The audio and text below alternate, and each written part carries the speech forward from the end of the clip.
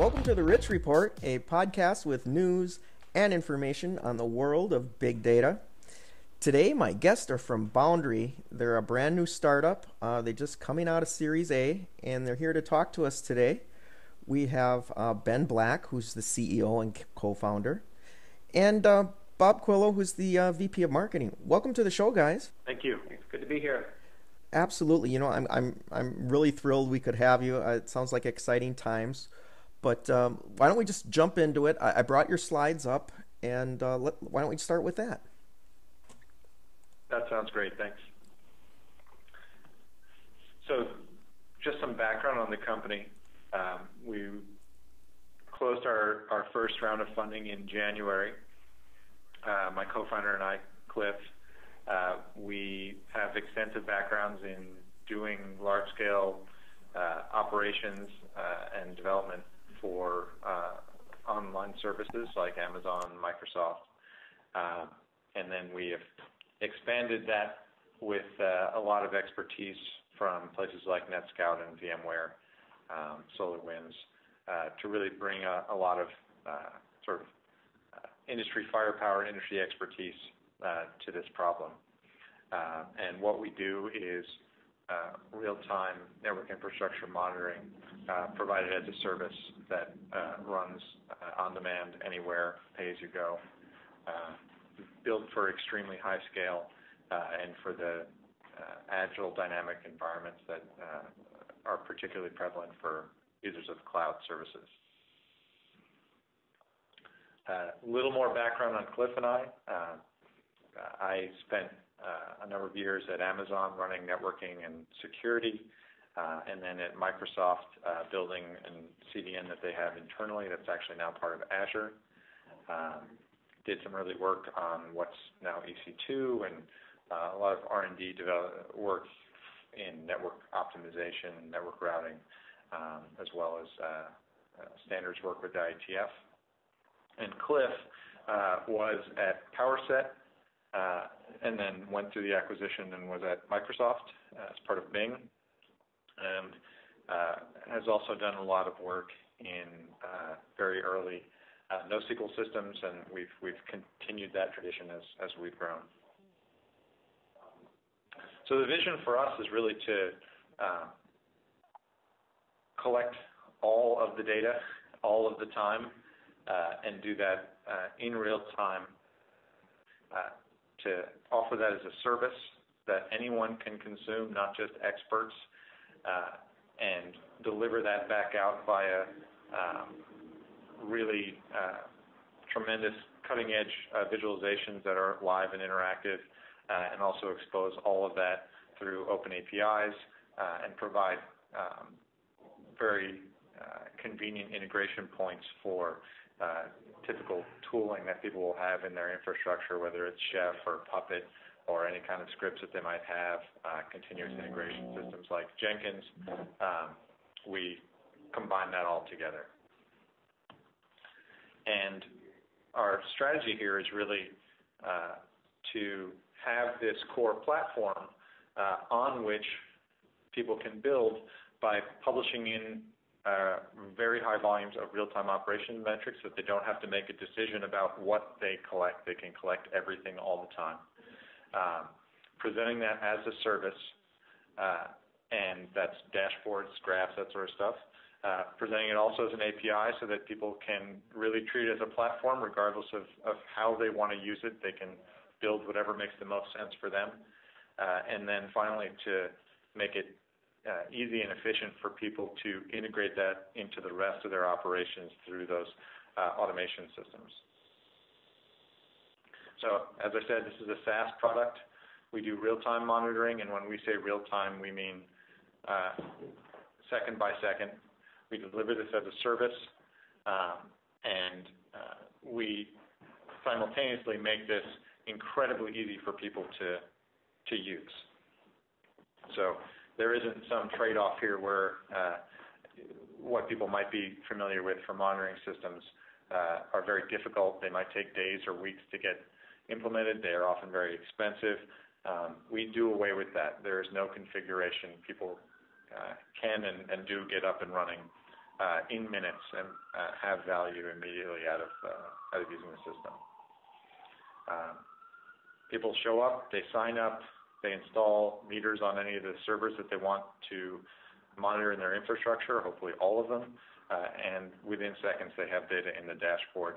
Uh, they have uh, really unprecedented visibility into what's going on in their network infrastructure, how their machines are, interacting with each other and with the world. And how this works is that our customers install a small lightweight agent on um, the servers in their infrastructure. Uh, those meters collect uh, information from every single packet moving in and out of those machines and uh, creates a set of records that are then exported to us about each of those interactions, those flows. It is carried over the internet securely. We do extensive authentication in both directions and encrypt all of the traffic in flight into our collection system. Internally, our platform was designed from the ground up to be multi-tenant, to keep customer uh, data separated uh, as it's being processed, uh, and then back out through our streaming API again delivered only over um, SSL. And that platform then presents these APIs and the visualizations that allow people to really make sense of this data and understand what's going on in their infrastructure. So on to the question of who uses this. And this, there really are uh, a lot of folks who can use this. I would say everyone who has infrastructure um, can benefit from better monitoring, especially real-time monitoring, so that they can have uh, much lower time to identify problems. They can uh, get out ahead of the problems. So in particular, this means what we might call DevOps teams. So these are folks who tend to be much earlier adopters. They're really embracing the agile, dynamic nature of modern infrastructure. Um, so they're continuously deploying, they're continuously monitoring and analyzing the effects of those deployments.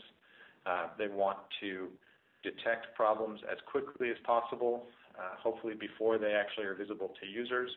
They're very interested in integrating that with their existing automation, Chef, Jenkins, Puppet, et cetera. Uh, and so they are aggressively adopting this because um, they really don't have any other system that'll give them this depth of visibility um, with this ease of use. Uh, on EC2, customers have pretty limited set of choices for how they can monitor, especially at the network. Typical uh, network monitoring systems, especially for the sort of volume that we do, uh, are built with the expectation that you can attach an appliance to the network. Uh, that's really non-starter in EC2 or any other cloud environment. So being strictly server-based allows us to operate anywhere, whether that's EC2, physical machines, virtual machines, makes no difference. Um, and finally, the sort of traditional users of uh, network monitoring tools, network operations, security operations folks, uh, who can now, uh, at very low cost, very low uh, operational overhead, get extremely high resolution visibility into everything that's going on on their network. And that allows them to do their jobs much more efficiently. They can use our APIs to create whatever sorts of queries they need in order to identify specific problems to them, whether it's uh, you know attacks or it's uh, compliance violations. Um, they have the ability to customize this to make it work best for them just a couple of uh, screenshots from uh, earlier versions of the, the dashboard talking about uh, you know the sort of typical things that you'll see in here, whether it's just raw traffic, um, moving through time to analyze historical data, viewing it at multiple time resolutions. We do have that second data, but uh, sometimes uh, it makes more sense to look at a larger spread of time. Uh, looking at top talkers, which is a very common thing when you're doing network monitoring who are the big generators of traffic. Maybe want to look at that in terms of geography or drill into that to figure out, you what specific applications, what specific ports are interested here. Looking across a large set of uh, devices to see the aggregate traffic um, across different pieces of your infrastructure. And finally, uh, some examples of uh, the visualizations that we're using, some of which are familiar. For example, the color-coded choropleth map for, geography. Heat maps often show up, um, perhaps not like ours, though, where you actually are seeing real-time views of traffic on every single port across every single system that's being monitored, uh, again, updated real time.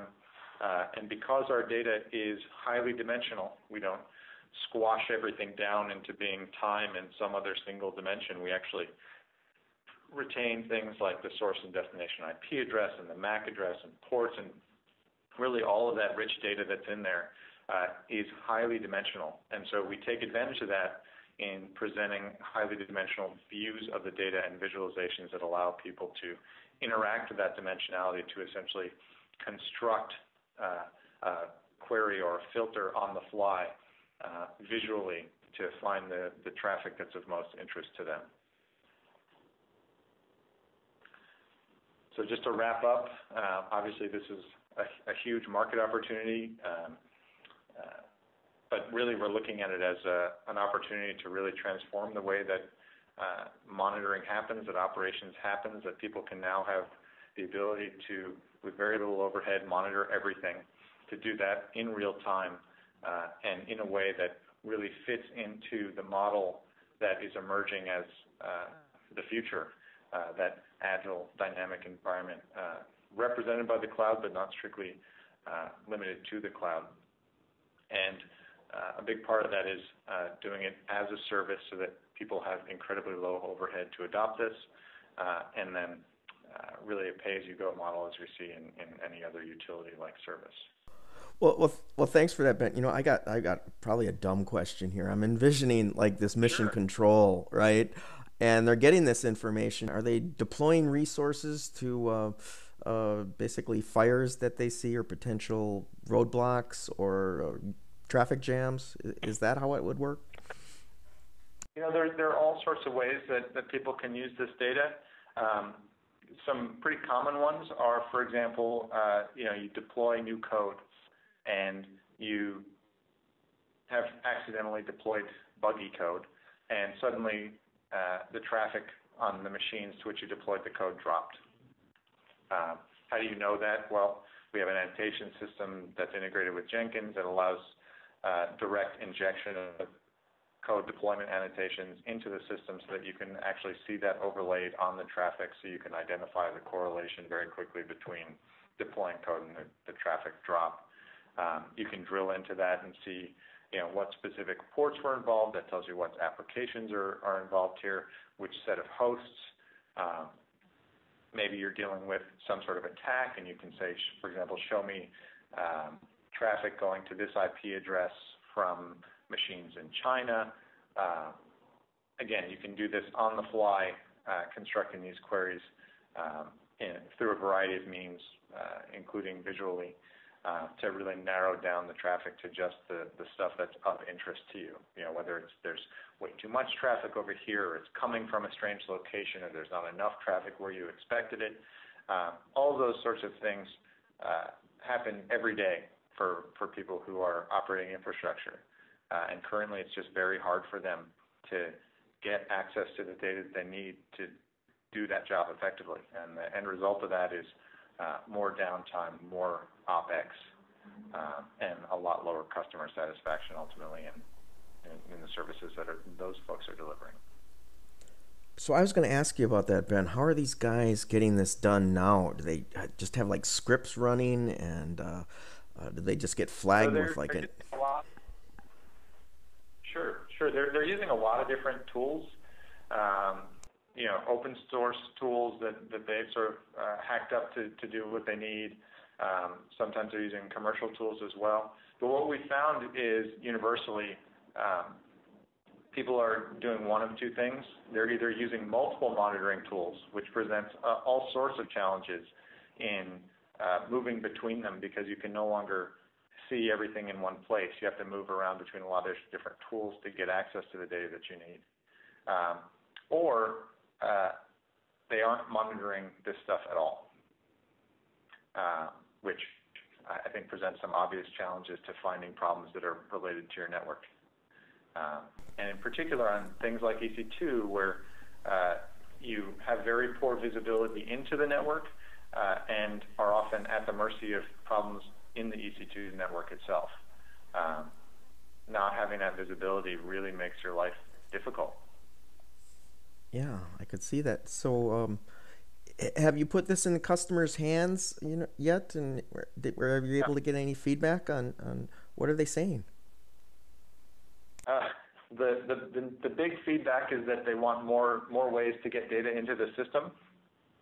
Um, you know, having this kind of real-time view into your infrastructure um, at this volume where essentially you really can collect everything all the time in real time, um, it's addictive. Um, and so the, the challenge is, in getting all the data uh, in rather than in finding a way to use it. So Ben, kind of a wrap-up question here. I know you guys are just coming out of the starting gate, but uh, where do you think this technology is going? I mean, is is it going to become uh, even more intelligent and, and warn people way ahead of time before there's even a, a problem that they need to address? What do you think? Yeah, absolutely. I mean, the, the future of this is, uh, to, to quote Jeff Jonas, data beats math. And we are going to pump all of the data through this. Um, and the sheer volume of data creates all sorts of new opportunities um, for predictive analytics, uh, for data exploration, uh, for uh, troubleshooting, and we're really excited about that. In, these new, very dynamic cloud environments, in particular, having that kind of visibility can really make or break your business. Well, Ben Black, CEO of uh, Boundary, I, I want to thank you once again for coming on the show today. Thank you very much for having me. All right. Okay, folks, that's it for the Rich Report. Stay tuned for more news and information on the world of big data.